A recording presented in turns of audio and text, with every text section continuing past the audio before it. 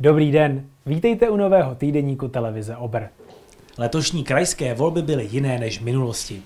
Byly především poznamenané opatřením kolem pandemie koronaviru. Za předepsaných hygienických podmínek hlasovali obyvatelé v hostiném do krajských a senátních voleb ve čtyřech volebních místnostech. Volební okrsky byly rozmístěné v budově městského úřadu, v Národním domě, v základní škole Karla Klíče a základní škole Sluneční. K posledním krajským volbám v roce 2016 přišlo v hostiném 34,55% voličů. Letos byla účast o něco větší.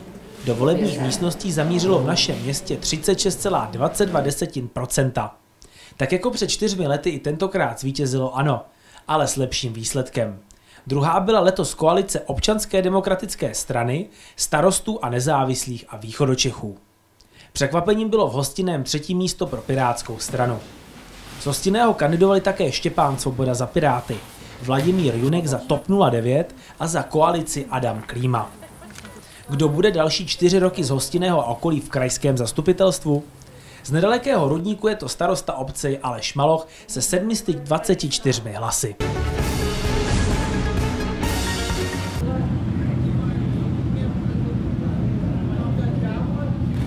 Bublavý zvuk motocyklových motorů, kožené kombinézy a vůně benzínu. To byla atmosféra tradičního krkonožského zavírání šoupátek. Přátelé jedné stopy se po roce sešli na náměstí v Hostiném.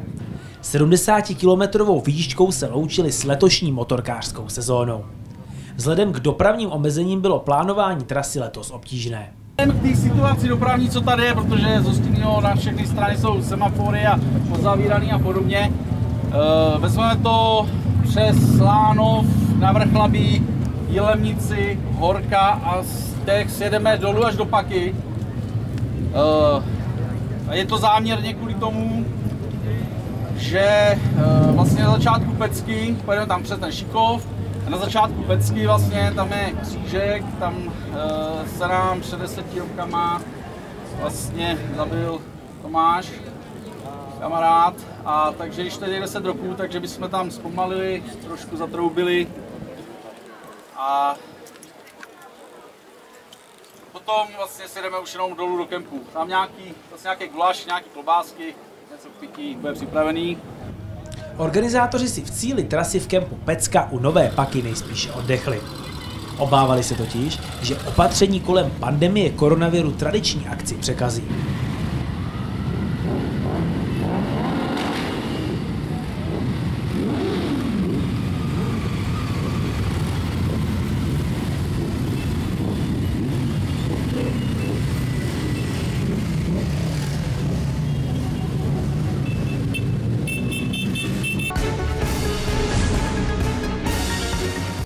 Se sezónou se o víkendu loučili také místní cyklisté.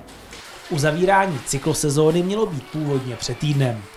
Trasa vedla přes Chotěvice, Kemp Kateřina, Záboří, Nemojov, přehradu Les Království, Bílou Třemešnou, Hotel pod Zvičinou, Zvičinu, Horní Prusnici, Mostek, Bradlo a Poštovní dvůr.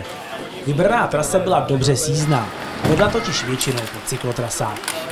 Organizátoři připravují podobné akce na příští jaro. Říká se, že každý muž by měl postavit dům, splodit syna a zasadit strom.